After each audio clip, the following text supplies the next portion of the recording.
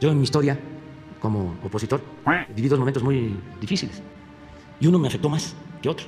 Uno fue cuando el escándalo de este argentino Ahumada, entregándole dinero a este, René Bejarano. Y el que era secretario de Finanzas de mi gobierno, eh, lograba, el mismo Ahumada, jugando en Las Vegas. Eso fue durísimo. Porque pues, Televisa, bueno, en aquellos tiempos ahora ya creo que es distinto. Bueno, así lo pienso. Estaba de secretario particular eh, Bejarano.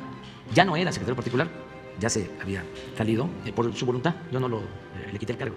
Se había ido a, a trabajar a, al partido.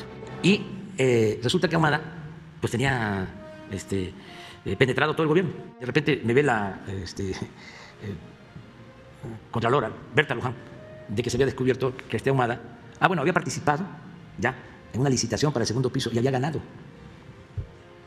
Y ahí sí, te dije, no, no, puede ser. Y ahí se le buscó y se volvió a hacer la licitación. Pero se le encuentra de que un delegado había este, recibido dinero de Gustavo Amadero. Entonces le doy la instrucción al procurador, a Bernardo Batiz, de que procediera.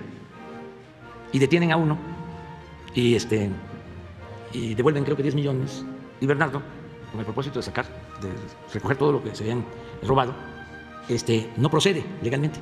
Yo le insistía, ya, presenta la denuncia. Y Bernardo, con el propósito de, recuperar el dinero, no hablaba.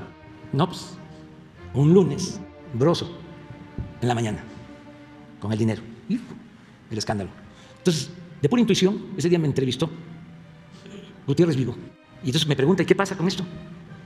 Le digo Salinas. Pero no tenía yo información. Sin tener información, que me daba por instinto, sólida, Salinas. Porque pues ya desde entonces no querían que yo este, llegara a donde estoy.